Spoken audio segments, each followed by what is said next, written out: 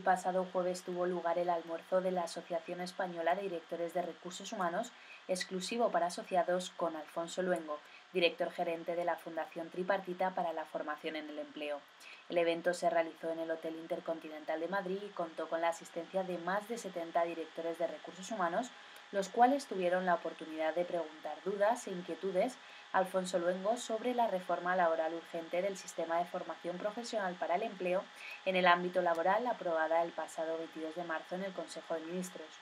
Luengo aprovechó para explicar los cambios sustanciales que se han producido con la nueva reforma, en la que la anticipación, la evaluación y el ajuste de la formación a las necesidades del mercado laboral se convierten en el foco principal del nuevo sistema de formación para el empleo. Creo precisamente que la reforma eh, de la formación para el empleo, del sistema de formación para el empleo recientemente aprobado por el Gobierno, interesa especialmente a las empresas, porque uno de los aspectos más subrayados de la reforma, quizá uno de, de los pilares básicos de, este cambio de modelo, consiste precisamente en enfocar todo el sistema hacia la formación en las empresas. Es decir, la formación en las empresas, hasta ahora llamada formación bonificada,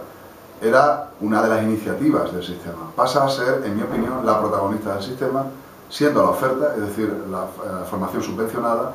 subsidiaria respecto a las necesidades formativas que no se cubren en la formación hecha por las empresas respecto de sus propios trabajadores. Por tanto, creo que la reforma interesa especialmente, incluso a este nivel, eh, digamos, conceptual o casi etiológico de la reforma, interesa especialmente a los responsables últimos de la formación y de la recualificación de los trabajadores de las empresas. Por otra parte, la propia reforma incluye también modificaciones de la normativa de orden técnico que creo que va a hacer mucho más accesible la financiación a las empresas, va a facilitar que las empresas puedan aprovechar los recursos del sistema para financiar la formación de sus trabajadores y en tiempos de crisis y en tiempos en los que el futuro es tan incierto y tan indeterminado, creo que eso es importante.